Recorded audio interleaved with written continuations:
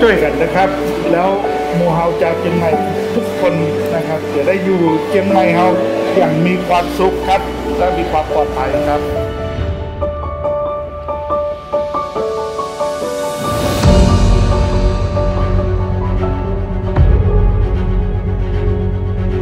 โรงพยาบาลนครพิงเราเปิดจุดให้บริการฉีดวัคซีน 2 จุดด้วยกันนะครับ จุดใหญ่ก็จะเป็นที่อุทยานหลวงราชพฤกษ์แห่งนี้นะครับ ซึ่งมีเป้าหมายในการที่จะฉีดวัคซีนให้ได้วันละอย่างน้อย 2,000 คนต่อวันนะครับ ส่วนที่โรงพยาบาลนครพิงยังเปิดให้บริการทุกวันอยู่เช่นเคยนะครับ เป้าหมายก็อยู่ที่ประมาณ 500 คนต่อวัน